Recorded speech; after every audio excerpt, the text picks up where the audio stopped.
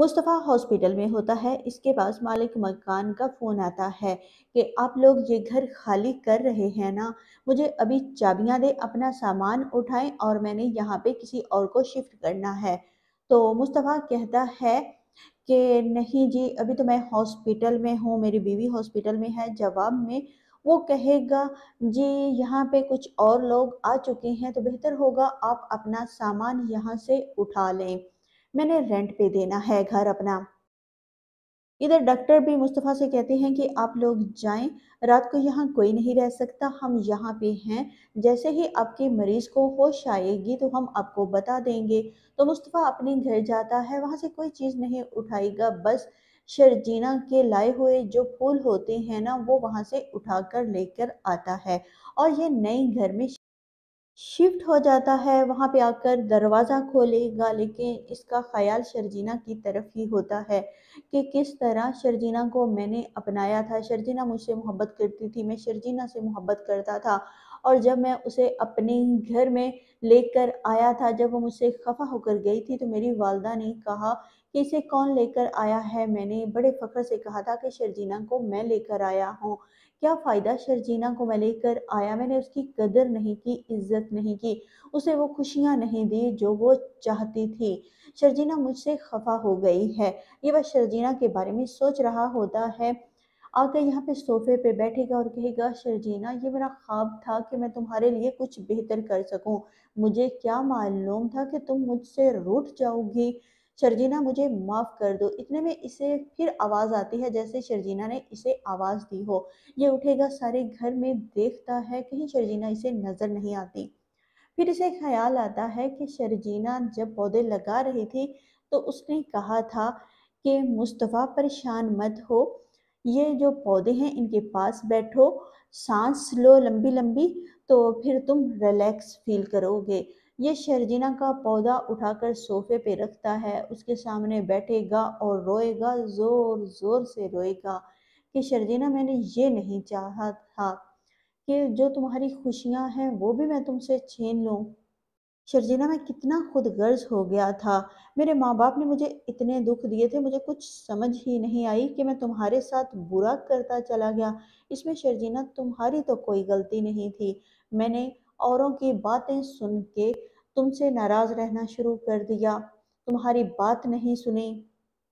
इधर अदील जेल में सोच रहा होता है कि क्या मिला मुझे रुबाब से शादी करके। मैं तो खाली हाथ रह गया। मेरे पास तो कुछ नहीं बचा, ना ही इज़्ज़त, ना ही पैसा, ना ही मोहब्बत। मुस्तफ़ा कितनी किस्मत वाला है कि उसके पास शर्जीना जैसी बीवी है जो उससे मोहब्बत करती है, उसकी इज़्ज़त करती है। और एक मैं जिसने शर्जीना को खो दिया था। शायद शर्जीना का दिल तोड़ने की मुझे सज़ा मिली है। और मेरे माँ बाप इस वक्त पता नहीं कहाँ होंगे। मैंने तो अपने माँ बाप की ज़िंदगी भी बर्बाद कर दी। मुझे पता ही नहीं चला कि मैं खुद पे किस तरह गरूर करने लग गया था। तो कब्बर में आ गया था कि मैं हैंडसम हूँ, समझदार हूँ। हर चीज़ के बारे में मुझे पता है, मुझसे बेहतर कोई जानता ही नहीं। शायद मेरे तकबर की वजह से आज मुझे ये सज़ा मिली है कि मैं जेल में सलाखों के पीछे हूँ और मेरे हाथ बिल्कुल खाली हैं। नताशा भागते हुए सलमान के पीछे जाती है। सलमान कहता है कि, नताशा, अब मेरा तुम्हारे साथ कोई ताल्लुक नहीं। नताशा कहती है कि, सलमान ये सब झूठ है। जवाब में सलमान कहता है, नहीं नताशा, ये झूठ नहीं। मुझे मालूम था कि तुम अदिल से मिलती हो, लेकिन ये जो रुबाब ने सबके सामने मेरी इंसल्ट की है, मैं ये बर्दाश्त नहीं कर सकता। अब तुम जा सकती हो, चाहे अदिल के पास जाओ, चाहे जहाँ मर्ज़ी जाओ। जवाब में नताशा कहती है कि, सलमान, मैं कहाँ जाऊँगी? वो कहता है, मुझे नहीं मालूम और तुम्हारी घर मैं डिवोर्स पेपर तुम्हें भेज दूँगा, तुम जहाँ कहीं भी होगी। तुमने मेरी नरमी का नजायज़ फ़ायदा उठाया है। किस चीज़ की कमी मैंने तुम्हें आने दी थी कि तुमने मेरे साथ इतना बड़ा धोखा किया, मुझे चीट किया और इधर रुबाब खूब चीखती चिल्लाती है कि मुझे तो लगा था कि मैं दौलत से हर चीज़ हासिल कर सकती हूँ, लेकिन दौलत से कुछ नहीं मिलता। मैंने कितनी मेहरबानियाँ की अदील पे, उसके वालदेन पे। लेकिन अदील ने मुझे चीट किया, मुझे चीट किया, ये भी एक तरह से पागल हो जाती है। ये अपना सर दीवारों से पटकती है कि मुझे तो लगा था कि मैं दुनिया की हर चीज़ पैसे से ख़रीद सकती हूँ। यहाँ पर इसका वालद भी होता है, वो कहता है, रुबाब, खुद को संभालो। जवाब में रुबाब कहती है, नहीं, डैड, मैं खुद को नहीं संभाल सकती। मेरा मुझ पर काबू ही नहीं। अदील, मेरा हो ही नहीं सका। क्या कमी है मुझमें कि अदील ने मुझे धोखा दिया और मेरी दोस्त नताशा उसमें क्या खूबी है? उसके साथ उसने अफेयर चलाया। डैड, आप मुझे बताएँ, क्या कमी है मुझमें? तो इसका वालद कहता है, नहीं बेटा, तुम्हें कोई कमी नहीं, तुम तो बहुत अच्छी हो। बदतमीज, नहायत घटिया किस्म की लड़की इसका वालद कहता है कि बेटा, असल में ना, ये जो छोटे तबके के लोग होते हैं ना, इनसे ज़्यादा पैसा, ज़्यादा इज़्ज़त हजम ही नहीं होती। वही हुआ अदील के साथ कि उससे इतनी ज़्यादा इज़्ज़त हजम ही नहीं हुई। उस पर पैसों का लालच बढ़ता ही गया और उसने सोचा कि मैं सारे पैसे अपने कब्ज़े में कर लूँ। और इसीलिए उस शख्स ने तुम्हें चीट करना शुरू कर दिया और तुम्हारी दोस्त निताशा, वो खुद ही ऐसी है बेटा, वो तो मुझे पहले दिन से ही पसंद नहीं थी। वो तो सिर्फ़ और सिर्फ़ तुम्हारे स्टेटस की वजह से तुम्हारी दोस्त बनी थी। वो तुम्हें चीट करती थी, वो तुमसे हसद करती थी और उसने सोचा कि अदील को तुमसे दूर करूँ और तुम जो इतनी खुश हो, इसीलिए उसने अदील के साथ अफेयर चलाया। और मुस्तफ़ा के वालदेन बहुत ज़्यादा परेशान होते हैं। मुस्तफ़ा की वालदा सिदरा से कहती है कि, सिदरा बेटा, मुझे शर्जीना के पास लेकर जाओ। मुझे शर्जीना की हाल लग गई है। मैंने उसके साथ अच्छा नहीं किया। मैंने उसे घर से निकाला था ना, उसकी सज़ा मिली है मुझे। मैं भी आज वहीं खड़ी हूँ जहाँ शर्जीना थी। तो इसकी बेटी कहती है, नहीं माँ, आप उसके पास नहीं जा सकती। आपका बेटा आपसे बहुत नफरत करता है।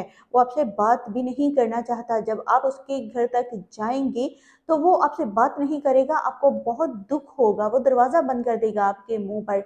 इस पर सिदरा की वादा कहती है कि बेटा जो कुछ भी है वो बंद करता है, करे। लेकिन एक दफ़ा मैं वहाँ ज़रूर जाऊँगी ताकि मेरे दिल को तसल्ली हो सके कि मैंने शर्जीना से माफ़ी मांग ली है और मुझे पूरा यकीन है कि शर्जीना मुझे ज़रूर माफ़ कर देगी।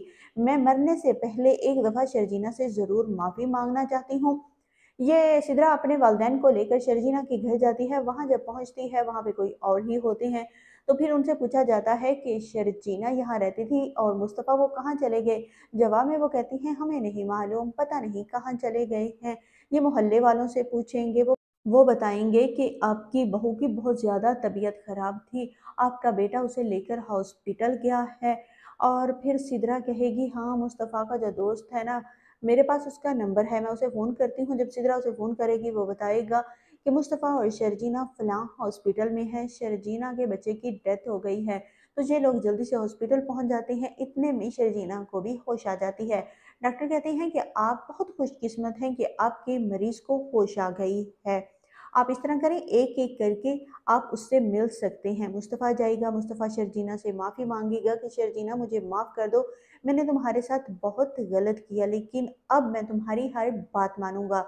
जैसा तुम कहोगी, मैं वैसा ही करूँगा। मैं अपनी गलतियों पे बहुत शर्मिंदा हूँ। उसके बाद मुस्तफ़ा की वालदा भी आ जाती है। वो शर्जीना से माफ़ी मांगती है तो शर्जीना कहती है, आप मुझसे माफ़ी मत मांगे। आप मुझसे माफ़ी मांग के मुझे शर्मिंदा कर रहे हैं। और इधर मुस्तफ़ा को शर्जीना की बात याद आती है, जब शर्जीना कहती है कि हर आने वाला अपनी किस्मत लेकर आता है। कोई किसी की किस्मत का नहीं खाता। मुस्तफ़ा शर्जीना से कहता है, तुम सच कहती थी। मैं तो वैसे ही इस बच्चे से डरा हुआ था कि जब ये बच्चा आएगा, इस दुनिया में आँख खोलेगा, पता नहीं उसकी किस्मत में क्या वो छोटा सा घर, गंदा सा घर, लेकिन मेरी सोच बहुत गलत थी। हर आने वाला अपनी किस्मत का लेकर आता है। जो उसकी किस्मत में लिखा होता है, वो उसको मिल कर रहता है। कोई किसी दूसरे को उसकी किस्मत में जो होता है, उससे ज़्यादा नहीं दे सकता। कोई किसी की मदद नहीं कर सकता जब तक अल्लाह ना चाहे या उस शख्स की किस्मत में ना हो। फिर मुस्तफ़ा की वालदा भी कहती है हाँ बेटा, मुस्तफ़ा ठीक कह रहा है। मुझे लगा था कि रुबाब बहुत किस्मत वाली है। मेरे बेटे ने रुबाब से शादी की है। मेरा बेटा बहुत अमीर हो गया है और तुम जो निकम्मी खाली हाथ मेरे घर में आई हो, मेरा बेटा पहले ही नहीं कुछ कमाता हम ज़्यादा अफराद हो गए हैं, कहाँ से खाएँगे? लेकिन मेरी गलत सोच थी। अगर तुम आई थी तो तुम अपनी किस्मत लेकर मेरे घर में दाखिल हुई थी। तुमने मेरे बेटे को संवार दिया है। मैंने कभी सोचा भी नहीं था कि मेरा निकम्मा बेटा इतना कमाएगा कि इतना बड़ा घर लेकर देगा। हम जो सड़क पे रह रहे थे, अपने मुस्तफ़ा की वजह से इतने बड़े घर में दाखिल हो गए, वो भी हक हलाल की कमाई से।